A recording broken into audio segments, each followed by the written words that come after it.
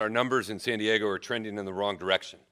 Um, but the good news is we do have the within our control and, and our ability uh, in order to slow the spread uh, and in order to get things back in control. In San Diego, initially, we did an incredible job uh, out of the gate with our response to COVID 19. And then as we reopened, things slipped, uh, and we began to see significant increases. Our numbers uh, around the case numbers and our numbers around community outbreaks uh, went in the wrong direction uh, and are continuing uh, to uh, go in the wrong direction.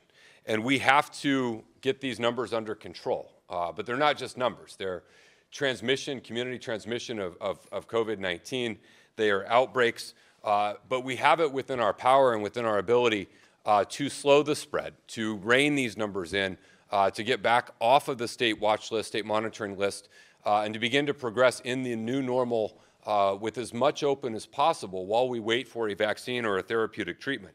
Uh, but if we want to have an opportunity to safely reopen schools, if we want to get some of these businesses back open, then it's incumbent upon each and every one of us uh, to play an active role and to be a leader.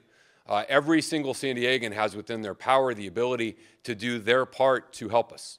Uh, and those are the things that we continue to reiterate and have been for months uh, by taking that individual responsibility to avoid large indoor gatherings, uh, to utilize a face covering, uh, to ensure that we're doing things like hand washing.